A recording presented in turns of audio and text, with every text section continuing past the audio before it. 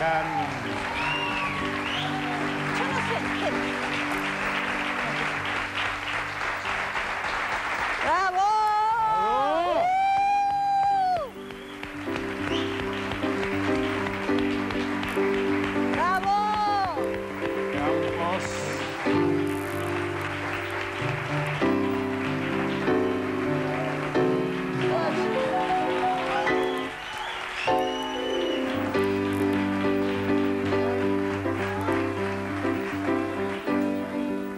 ¡Qué maravilla Qué de maravilla mujeres! tenerlas acá. Pero, Buenas noches, bienvenidas. me estás pisando. Ay, perdón. que- Venga, venga con nosotros. Era más que Hola. conocido Yo estoy torpe como un imbécil hoy.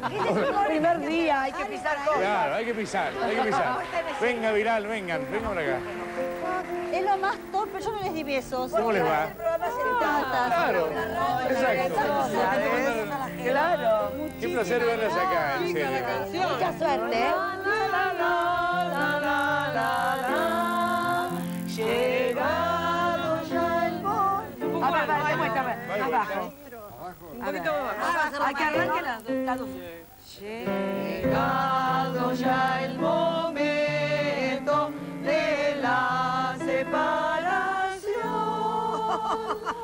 Formemos compañeras una cadena de amor. ¡Bravo! Vamos a contar si hay alguien que no vio brujas, que esta es la canción del cierre. Del ¿no es cierre, cierto? claro. Del cierre, que esta era la En canción. realidad es una canción de final de colegio. casi Claro, de Por, casi, por lo menos los colegios ingleses casi todos la cantan, Ah, ¿no? yo fui al colegio francés. No, ¿no la cantaban? aburrimiento, Cantarían No, otra. era aburridísimo. No, alguna, alguna, algo van a cantar. En. Avellaneda no cantábamos, esto tampoco. Aurora. De, de despedida. Estudiantes, estudiantes, ¿cómo no cantábamos? Por muchos años sin estar juntas en un estudio de televisión, ¿no? En reportajes, En en reportajes, general. así El reportaje estuvimos juntos en lo de Susana Jiménez, nada más, Sí. creo. No, gracias. No, Yo no, sabía no, que alguien más había ganado. No, en lo de tu madre. ¿En lo de mamá estuvieron? Ah, lo de tu mamá. Sí, No, pero nos engañaste. ¿Por qué nos engañaste? Diez años. Hace Hace 10 diez años. Susana, Mirta y acá. Pero hace 10 años, Mori. ¿10 años? Pero si no hace, no hace 10 años que estamos con Bruja. Ah, sí, ya hace 10 años. Claro. Ah, hace Gracias, 10 perdón. años. Este, ¿Cómo pasa el gracias. tiempo? ¿Cómo se puede retomar una vez más brujas? ¿Cómo, ¿Cómo vivieron esto de volver a ser brujas? ¿No están hartas? Estamos muy contentos porque nos va muy bien. Sí, les va bien, Les va fenomenalmente bien y a la cuenta bancaria también, cosa que es muy agradable es para muy todas las que trabajamos. Lo que pasa es que cuando uno vuelve a hacer una- un éxito tan grande como fue Brujas, hablo de mi caso personal, ¿no? Este, obviamente uno tenía un poco el temor, no el temor a, la no respuesta del público, sino Sí. el temor a que uno no pudiera volver a reencontrar esa cosa tan especial que se creaba en el Sí, sí, claro. escenario, ¿no? Que surgía en el escenario. ¿Ustedes son conscientes de la cantidad de gente que las ha visto? Esperemos que haya mucha más que no la Pero vio. mucho más, no, porque además podemos renovada seguir, la Yo fui por primera ¿no? vez eh, el estreno este, Bueno, el el domingo cumplimos Sí. la- el domingo que pasó fueron las 2.000 representaciones. 2000. 2.000. En el 2000. En el 2000, pero sí. Ay, no puedo apoyar acá porque se me cae todo, se me cae todo. Qué bárbaro. ¿Y ustedes qué pasó cuando en un momento dado, este, porque a mí me ofrecieron? Sí, señora. Es No verdad. miento. Ah, sí. Cuando en un momento hubo esa duda que, eh, bueno, ¿por qué no. se hace bruja? Ah, bueno, te ¿Cómo ofrecieron. se No. ¿Cómo nació Rottenberg? ¿Por qué no? No sé, qué sé yo. Podría La madre superior. El papel de Moria- el papel de Moria lo puede hacer perfecto. Absolutamente. No, no, pero ahora de verdad cuando- tiene razón Graciela, la, la próxima versión, cuando entre la Madre Superiora. Hay una escena, claro, hay una escena que vos te recontrapodrís y creo que le decís a alguna de ellas, este, sos una flor de pelotuda. Me encanta como lo decís. A mí, A vos te lo decís. Sí. Sí, porque la Me palabra, además, la palabra pelotuda te llena la boca. Te llena la boca. Bueno, yo, yo esa cosa de, de, de- de mandar también la, la puteada, entre comillas, lo aprendí de los cómicos de la revista. Sí, claro. Que fueron mis grandes maestros Sí. y que fueron mis únicos referentes. Claro, Pues yo nunca admiré a ninguna mujer en la revista. En realidad nunca admiré a nadie. Pero los cómicos de la revista... fueron mis. No, pero eso no quiere decir que sea modesta. No admi- a lo, a lo único ser Me que, admiro yo, que admiro... No, no, no, no, no, no, no. Yo me admiro mucho, tengo autoestima elevada. Pero la- No admiro a la gente. Admiro a Jesucristo y a la Madre Teresa de Calcuta, a mi familia, a nadie más. No, pero mi Pero eso no quiere decir que no haya gente importante, yo no la admiro. Bueno, no, se van a, por eso. no se van a pelear ahora. por- Ah, no. Hace 10 años estamos tratando de juntarnos y se van a pelear ahora. Para un poquito, Claro. si nosotros no nos peleamos, ¿de qué habla? ¿Qué dice? Claro, de qué hablan, claro. Porque también se dijo que se habían peleado. No, pero en un momento se dijo que iba, se iba a repetir Brujas eh, con otro elenco. ¿Ustedes qué pensaron en ese momento? Mira, ¿Qué yo no? Yo como nada. Guillermo estaba no un poco en eso. hacerlo. Nosotros no íbamos a hacerlo más, brujas. Claro, como Nosotros Guillermo habíamos estaba un poco en eso, con la idea de hacerlo. A mí me parecía bárbaro. Gracias. Yo pensaba que podían hacerlo actrices que tuvieran la edad que teníamos nosotras cuando empezamos a hacer brujas, gente más Sí. joven. Claro. Me parecía que, que podía ser, que Claro, por qué sí, no. sí. Podía- ¿Por qué no? No sé si iba a crear la misma, el misterio, No. la, la Sí. maravilla que fue la, Brujas nuestra nació bruja, y pero muere bueno. con ustedes. Cuando Rottenberg piensa que para eso hay tiempo, para que lo hagan otras actrices hay tiempo, en cambio para que lo hagamos nosotras no hay tanto tiempo, entonces decide que lo volvamos a hacer nosotras y entonces acá estamos nosotros. ¿Es una cuestión cronológica solamente, Rottenberg? No, ¿Qué es eso? Ah, ¿Nos es explicás ya? Claro. Solamente esa parte jodida que No, tiene. ahora. Eso lo dice, viste, Sí, esa cosita jodida Ahora, que ¿tuvieron que volver a ensayar o no? Sí, ¿Así? sí. ¿Así? ¿Y qué parece? claro. Pero tanto pasar la letra, tanto pasar, no, la la tienen problema. El problema es que la puesta en escena es como un ballet. ¿Así? Entonces hay movimientos muy precisos que tal vez no concuerdan con la letra o con lo que nosotros queremos hacer Sí. o con lo que nos pide nuestro cuerpo. Sí, sí, claro. Pero sí, la apuesta del director era así. Y esas cosas eran las que nos costaba acordar. Sí, Sí, la claro. letra no era problema. La letra no, era problema. O sea, decíamos la letra, pero el cuerpo, suponte, decíamos El la cuerpo frase. iba para otro Íbamos lado. caminando y el cuerpo iba para otro lado. Y eso era lo que nos Sí, sí, frenaba. Fue por empezar de cero. que teníamos, teníamos un, video hecho que, Moria lo había visto, lo vio más que nadie, lo, lo- en algunas cosas. Porque letra que de pronto nos costaba decir, hasta que encontramos aquel movimiento que hacíamos. Claro, Y ahí claro. la letra venía sola.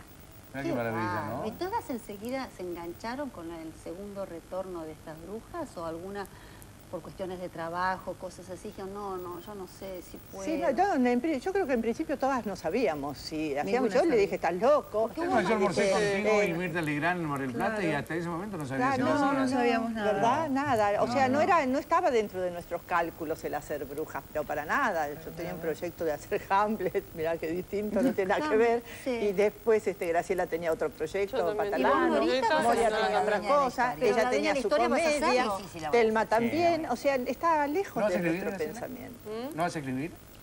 Estoy escribiendo. ¿Ah, sí? Sí, estoy ¿Qué? escribiendo. Ese es el problema, que estoy escribiendo. Lo que puedo, lo que puedo. Sí. No, firmé un contrato con Ah, Sudamericana mira. y tengo que entregar un, un libro de historias de mujeres. Ay, me encanta Pero- historias de mujeres. Sí, pero me está dando bastante trabajo. Pero bueno. Porque las mujeres no somos fáciles. No, no, porque escribir es que muy escribir sus memorias. ¿Están pensando en escribir sus memorias? Sartre decía que uno tiene que escribir sus memorias porque si no las murmuran los demás. Y sería bueno escribirlas, ¿no? No, pero en este la país, con las, murmuren los murmu- demás. la- las murmuraciones que hay, la usina de rumores, ¿para qué vas a escribir tu Ya tenemos memoria? una enciclopedia. Está todo dicho, aunque esté mal dicho. Una duda, está. ¿lo que toman en el, en el teatro es champán, champán? No. Ah, ah. Agua mineral, Agua sin mineral.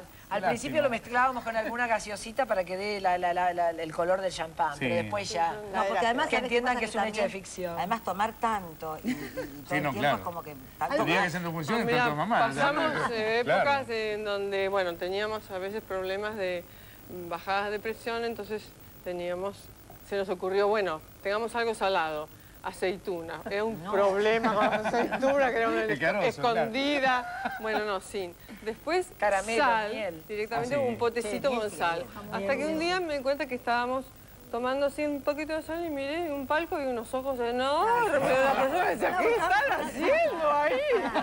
Yo me iba a decir, es sal gruesa, señor. Drogadictas. No, pero eso, eso me hace acordar a, que, ahora, a que nos pone muy frenéticas, Sí. porque ahora, ahora todavía no ha ocurrido. Pero los ruidos, los ruidos que provocan eh, la apertura de un caramelo se vuelve loca. Entonces había ¿por una señora en primera fila con una bolsa de caramelos más o menos que de medio kilo. Y yo digo, en un momento que estamos las cinco sentadas en sillones, digo, atención, alguien alerta, señora de primera fila con bolsa de caramelo de medio kilo.